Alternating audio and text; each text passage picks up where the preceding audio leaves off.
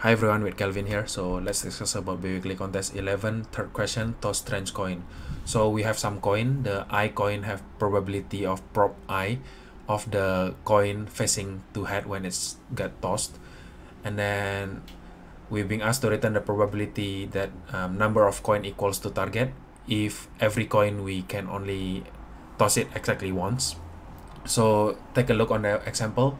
So here we have one coin and that coin the probability of facing head is 0.4 and our target is 1 so we only need one coin that is facing head so the answer will be 0.4 on the second question uh, the second test case. So we have five coin here. Um, the probability of the coin facing head is 0.5 um, for all of them. And our target of coin facing head is 0 so how we calculate this is by um, this is the probability of the coin facing head. So the probability of the coin not facing head is also 0.5. So the first coin happen to be not facing head, second coin not facing head. So the probability will be 0.5 times 0.5 times 0.5, 0.5, 0.5. And that 0.5 is come from 1 minus um, the probability of facing head itself.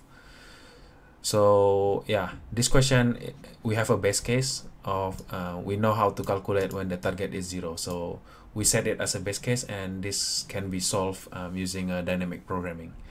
So um, let's see here um, how we solve it. So when the target is zero, um, from certain index of coin that we haven't tossed until the end uh, until the rest of the coin, um, we times the probability by one minus the probability of it facing head and then we return is um, as the probability.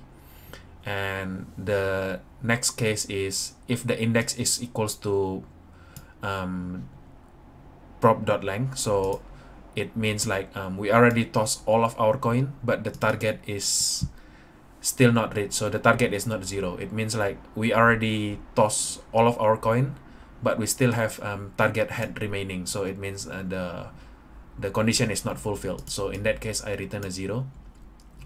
And otherwise when we have target more than zero so what we're going to do is we calculate the probability of the current coin facing head times um, the sub problem will be um, we we toss our next coin but um, current coin the target minus one. So it means like um, this current coin the probability of it facing head so when it's facing head our target is minus one okay? And the next one we also need to add up the probability that if we toss current coin and current coin is not facing head so that means um, we move on to next index but our target is not being minus by one because we still have the same number of head we need to achieve uh, on our next sub problem.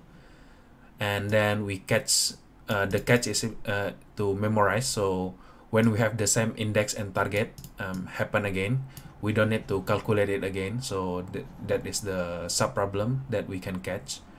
So yeah um, we store every time we met certain index um, of coin we need to toss and the how many target of coin is there. So we return it if we already calculated it before and if it's first time we calculate it we store it here. And that's it for this question. So thank you for watching. See you on the next weekly contest